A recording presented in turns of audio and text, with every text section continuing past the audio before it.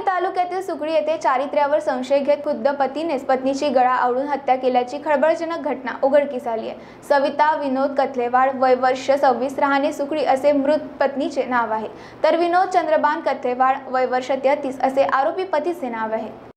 दिनांक एकतीस जुलैला रात्री दहाच्या दरम्यान चारित्र्याच्या संशयावरून पती पत्नीमध्ये वाद झाला असता आरोपी पतीने पत्नीला जमिनीवर दोरीच्या सहाय्याने गळा आवळला. त्यानंतर पलंगावर ठेवून हाताने गळा आवळला असता यात पत्नी मृत्युमुखी पडली. व रात्रभर आपल्या दोन मुलीसह आरोपी घरातच झोपला. सकाळी पाचच्या सुमारास उठून आर्णी पोलीस स्टेशन गाठून हत्या केल्याची कबुली देत स्वतःला आर्णी पोलिसांच्या स्वाधीन केली.